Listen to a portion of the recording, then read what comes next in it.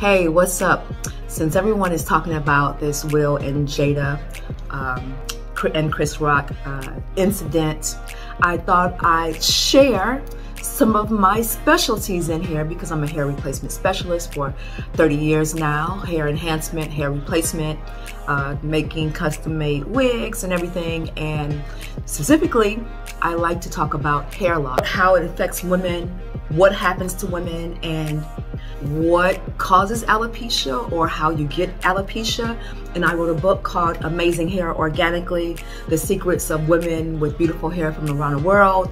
And so uh, I did a lot of research for many, many years because I grew up with a ton of allergies. I was very sickly until I got about 25 and started to, you know, become plant-based and um, change all the products in my home, the chemicals and everything like that, because I found out that there's a lot of chemicals that do affect us that uh, we put on our skin, we put it in our bodies, you know, like preservatives, we put on our skin, we put in our hair. So I became, I don't want to say a purist, but I really started to pay attention. It's scary when people tell me that, oh, I don't, I don't ever get, I don't have no allergies. I can eat anything that is scary. Like you shouldn't be able to eat anything. You should have, that means that your body is so desensitized to any foreign uh, chemicals, preservatives, things that come in your body, that you're so calcified,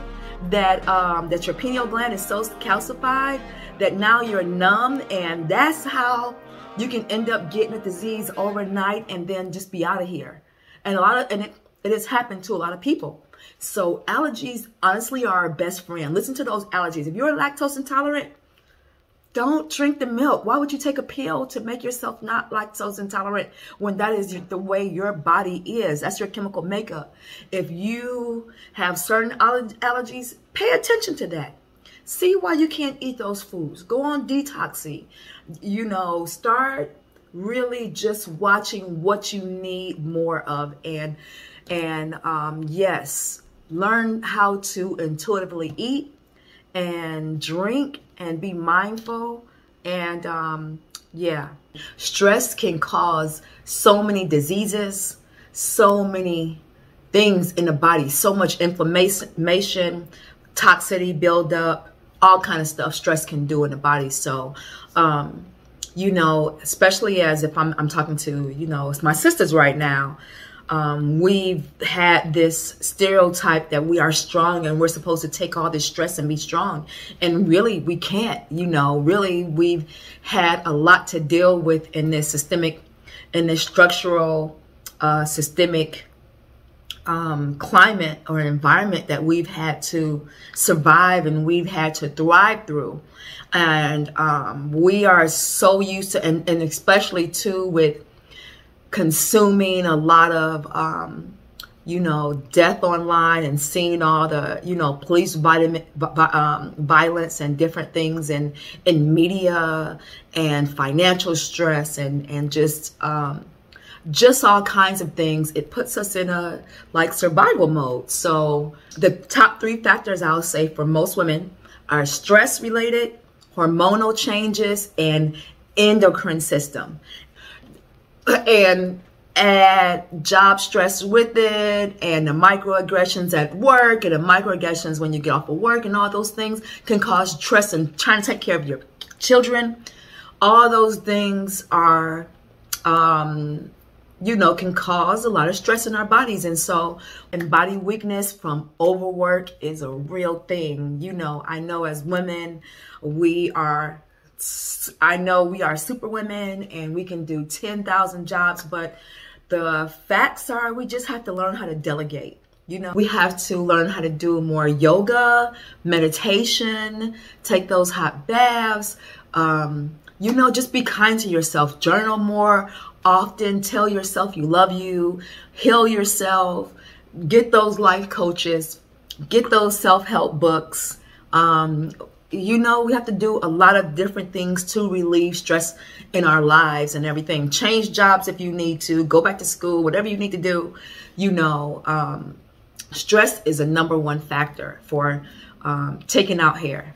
Um, adolescents, pregnancy, and menopause. Those are the three things that I know for sure that has to do with hormones that completely changes a woman's bodies and she could like just lose hair in patches because of the stress on the body. And the endocrine system is um, a very interesting topic to talk about because uh, there's a lot of shampoos out there, a lot of products that disrupt our endocrine system about balancing your diet, your exercise, drinking the proper water, making sure that you have the proper nutrients and that you're um, that your foods or what you're eating are complementing the vitamins and minerals that you're eating. You know, those nutrients play a big part. Uh, that nutrient nutrient intake. You know how I'll say like saying you like ginger and turmeric for um, inflammation. Well, it doesn't work. Turmeric doesn't work without black pepper. It needs that carrier. So lots of vitamins and minerals need a carrier as well. So as long as you're studying, researching, and knowing what proper things to do that and how to make sure that you're getting the proper vitamin D and the proper niacin and and uh, I mean I'm sorry zinc and magnesium and B12, the B vitamins and omegas, which are very important for women's bodies. Um, making sure that you are cocktailing your nutrition and your vitamin mineral intake well. And but um menopause will take your hair out you know. And this one is more on a serious side candida yeast.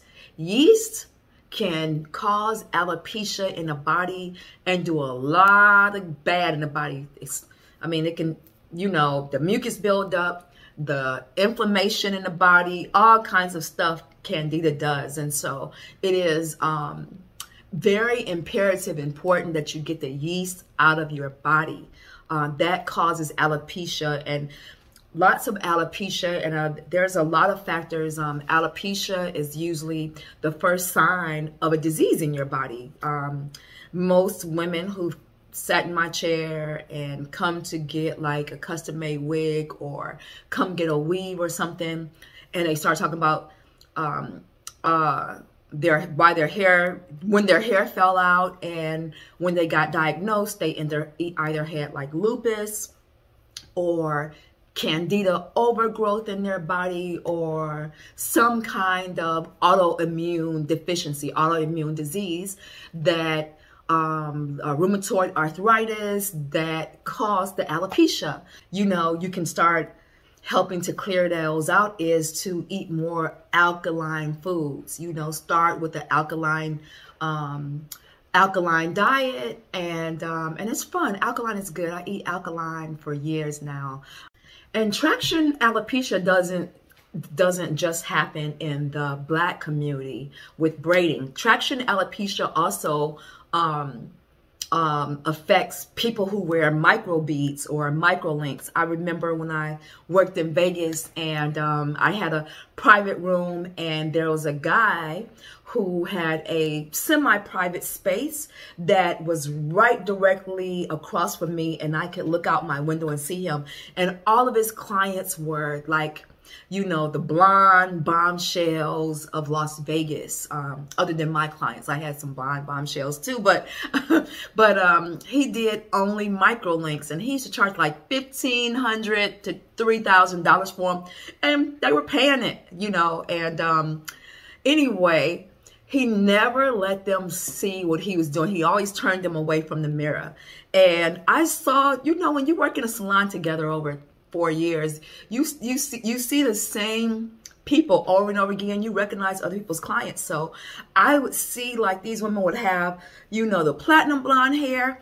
And then when he took those things out, they would have so many bald spots in areas because over time they kept getting those things and they wanted more and more fullness and tighter and um, he didn't have the proper silicone tubing inside of them so those women end up being bald headed and they had to keep coming and get them because they were bald headed. So when you're blonde and your half of your identity is in your hair and you have this long, you know, Playboy bunny hair or whatever, and then it's half bald headed when you lift it up.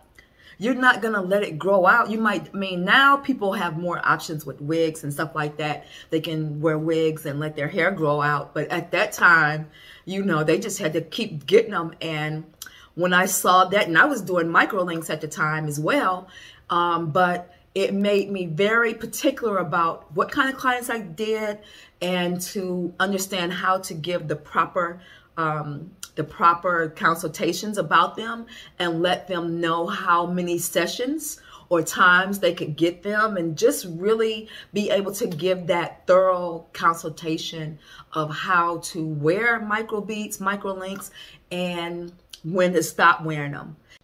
Now, I used to do in Vegas, I used to do, I think I had like probably around 30 or 40 fitness and body, body, what do you call them? Bodybuilding competitors, bodybuilding competitors. Yes, that's what the word is. Um, lots of them. And let me tell you, about 95% of them were very unhealthy because in order to get that type of lean body mass, you have to damn near starve yourself. You have to eat very specifically. You know, you have to eat. A lot of them for years was on chicken breasts and broccoli. That's it you know, and maybe peanut butter every now and then, but very specific diets. And then took a, um, a whole bunch of engineered uh, nutrition, no pow powders and stuff like that. And they relied on those things, but you know, they had to eat a very specific way to shred and get the weight off and just expose that muscle so that they can compete. And a lot of them were at the top of their fields. I mean, I've had a lot of competitors that were, and over 10 who won national and um, international championships. But knowing them over time, they end up getting sick. They end up having, you know, their bodies breaking down and having their organs, you know, just collapse inside of their body and, and a lot of organ issues because of those nutrients. And one of the main factors that you'll see with a lot of bodybuilders, with women and men, is they lose their hair. That hair begins to thin out. It gets very thin because they are nutritionally deficient.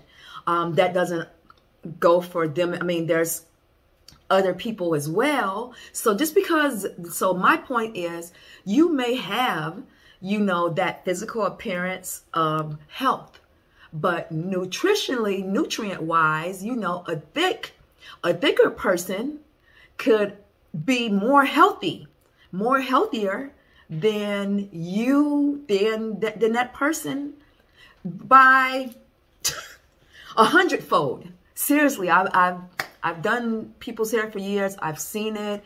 I've had to visit people in the hospital. I've seen people, you know, literally call me and be like, I'm in a hospital. I can't get, I have to cancel my appointment because my organs broke down. You know, I have to eat more better or whatever like that. You know, I've, I've heard all the drama. So uh, nutrients are very important, especially as we get older, over 30, 40, especially 40s and 50s and beyond. You should be making sure that you learn your body so that you can take the right nutrients. Thank you for joining me. And if you have any questions, please feel free to ask me in the comments. Like, comment, and subscribe. Share this video with someone that may need it about alopecia. And I'll talk to you soon. Have a great week.